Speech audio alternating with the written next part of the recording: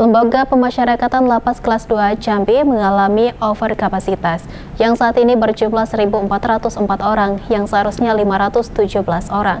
Untuk sementara ini penghuni warga binaan belum bisa dipindahkan ke Muaro Jambi dikarenakan gedung belum selesai. Jumlah warga binaan di Lembaga Permasyarakatan Lapas Kelas 2A Jambi masih melebihi kapasitas. Saat ini warga binaan lapas berjumlah 1.404 orang, sementara kapasitas sebenarnya hanya 517 orang. Kepala Lapas Kelas 2A Emmanuel mengatakan ini merupakan jumlah yang over sekitar 300 persen. Untuk mengatasi over kapasitas ini, Emmanuel mengatakan sudah berkoordinasi dengan pihak kepolisian, kejaksaan, dan pengadilan negeri agar kasus-kasus kecil tidak usah diangkat dan diselesaikan secara kekeluargaan saja.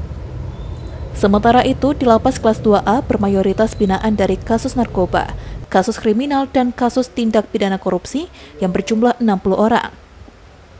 Selain itu, untuk warga binaan kelas 2A belum bisa dipindahkan ke Muaro Jambi dikarenakan gedung yang dibangun belum selesai. kapasitas lapas kelas 2 Jambi itu 217 orang. Sementara sekarang ini sudah 1.404 orang ya sudah overload sebesar 300 persen dari kapasitas yang ada ya itulah Heru Syaputra Cek TV melaporkan